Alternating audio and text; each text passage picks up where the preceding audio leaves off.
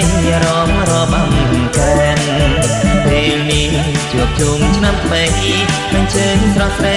រំរបំកានបានទេក្រមុំទៀនសាបានទេក្រមុំទៀនសាឡើងមករំកានជាមួយសិល្បករស៊ុងឌី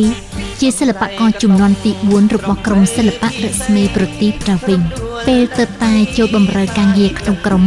ស៊ុងឌីបានរៀននៅបែបផែនអំពីក្បាច់រាំនិងចម្រៀងក៏ដូចជាសិល្បករដទៃទៀតដែរស៊ុងឌីបានសិល្បករសិល្បការរីករាយដែលមានបទពិសោធន៍ច្រើនឆ្នាំណែនាំដោយអស់ពីចិត្តក្រោយពី3ឆ្នាំជុលក្រុមទើបគាត់សាក់លបងសមត្ថភាពរបស់ខ្លួនដោយបទចម្រៀងមនោសញ្ចេតនាឆ្លងកាត់វេលាយូរ ដោយការសាឡបងច្រើនដើម្បីមានជំហរមាំនៅលើឆាកសម្ដែងស៊ុនឌីមិនភ្លេចថ្ងៃខែដែលទៅតែជុលក្រុមឡើយខ្ញុំចូលមកថ្មីហ្នឹង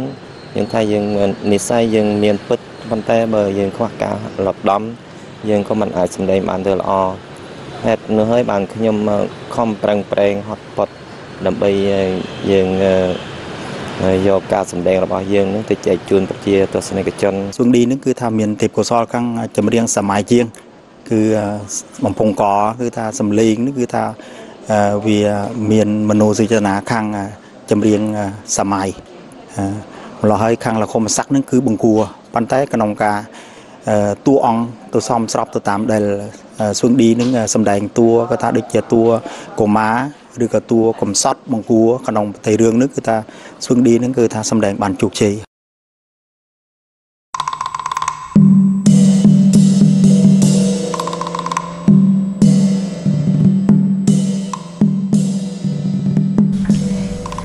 បានជោគជ័យខាងចម្រៀងមនោសញ្ចេតនាសួងឌីនៅទាំងហាត់ច្រៀងបាសាក់ជាបន្ត តាមការកំណត់របស់ក្រុមទៀតផង ដោយសំនៀងពង្រូតទៅសិល្បករស៊ុនឌីបានជួបការរៀងស្ទះច្រើន ក្នុងការហាត់ច្រៀងបាសាក់ហេតុនោះក្នុងវិស័យសិល្បៈយូកេស៊ុនឌីសម្ដែងតែតួរោងប៉ុណ្ណោះមានវ័យចាស់ជ្រាណាស់ទៅហើយ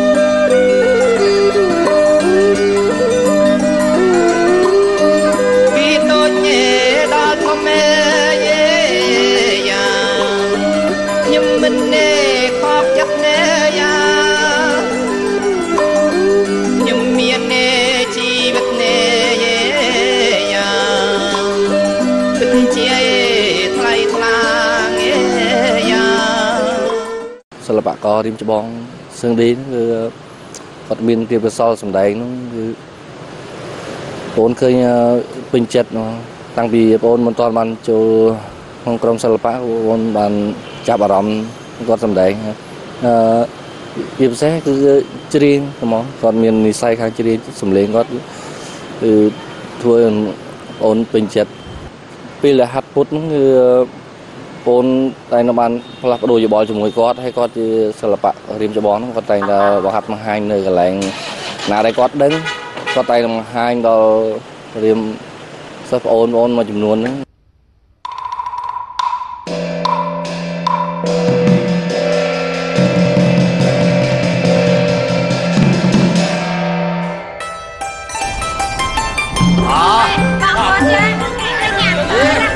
ល្បករស៊ុំឌីមានជំនឿថា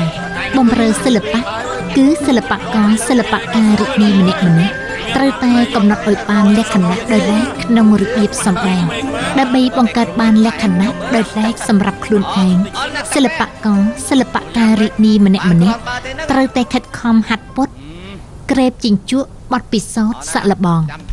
គិតឃើញដូច្នេះ ទើបគាត់បានស្វែងយល់មិនបងអង្គជានិច្ចជាកាលផ្ដោះប្ដូរនឹងអ្នករួមអាជីពដើម្បីរកបាននៅអ្វីដែលថ្មី អ្វីដែលល្អក្នុងការសម្ដែង ដើម្បីបម្រើទស្សនិកជនសួនឌីចាត់ទុកថាជោគជ័យរបស់សិល្បករសិល្បការីឌីម្នាក់ម្នាក់មិនមែនបានដោយឆាប់រហ័សទេ គឺត្រូវតែឆ្លងកាត់ដំណើរការលះបង់ឆ្លងកាត់ការលំបាកក្បែរតាមថ្នាក់ខ្ញុំខែ តែគេដូនអ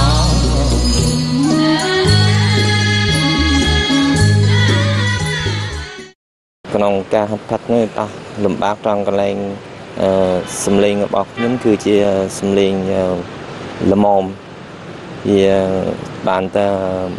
ច្រៀងសម័យហើយដល់ពេលយើងចូលទៅច្រៀងបាសាក់ទៅវាលំបាកបន្តិច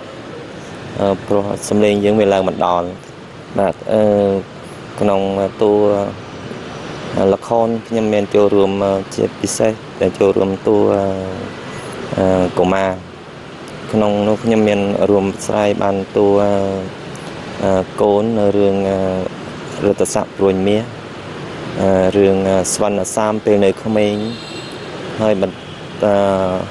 តបនោះទៀតគឺរឿងថ្មីដែលក្រមសិល្បៈទៅតែហាប់ បត់កសាងឡើងនោះគឺរឿងប្របាវេទសណ្ដោខ្ញុំក៏បានដើរតួកូនដែរបាទហើយក្នុងនោះយើងក៏ខិតខំដើម្បីសម្ដែងឲ្យវាជួលអារម្មណ៍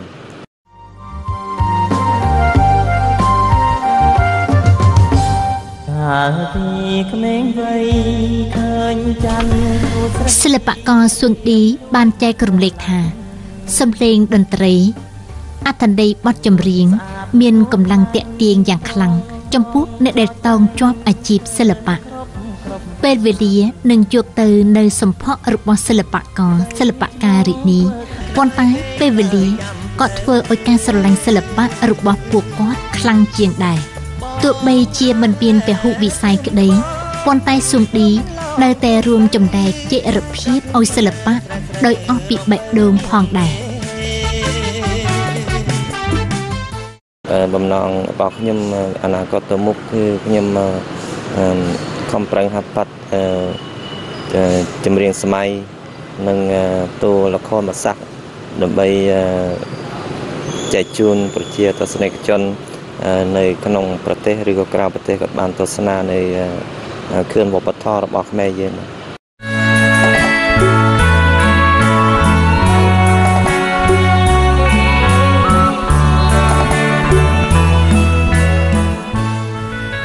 ជោគជ័យទាំងឡាយរបស់ក្រុមសិល្បៈរស្មីប្រទីប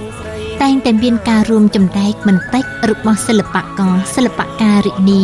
ដែលស្រឡាញ់សិល្បៈក្នុងនោះមានសិល្បករស៊ុនឌីផងដែរសិល្បករសិល្បការិនីស្មោះស្ម័គ្រផ្សារភ្ជាប់នឹងការជក់ចិត្តរបស់ខ្លួនគ្មានប្រាថ្នាដល់ផលប្រយោជន៍ឡើយ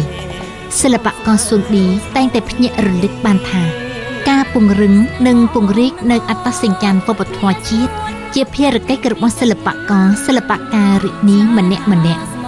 ហេតុនោះទោះបីជាមានភាពជោគជ័យជាកំណត់លើឆាកសិល្បៈក្តីប៉ុន្តែគាត់តែងតែក្រេបជញ្ជក់នៅវិជ្ជាជីវៈ